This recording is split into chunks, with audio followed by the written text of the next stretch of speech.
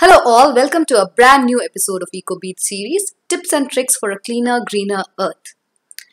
Now most of you might know that the biggest contributors for plastic trash are either plastic bags or plastic water bottles. In our episode 8, little Arun has spoken in detail about our options for uh, you know replacing plastic bags. And uh, today our little eco champion Avni shares her tips on water bottles. Take a listen. Hi, I'm Avni from Dubai. I'm 8 years old.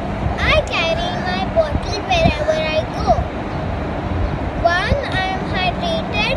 Two, I don't need to buy plastic to quench my thirst. This is how I contribute to a greener earth.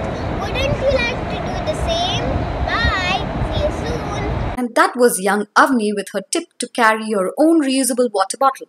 Apart from the fact that most plastic water bottles end up in landfills or oceans, most of the times people buy bottled water because they believe bottled water is safe. But recent research shows that 93% of bottled water have microplastics in them. So they're definitely not as safe as they seem to be.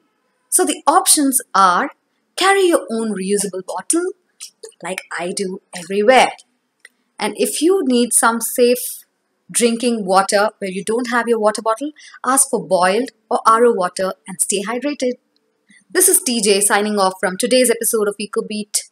And yes, keep sharing this video so we can make an impact one bottle at a time.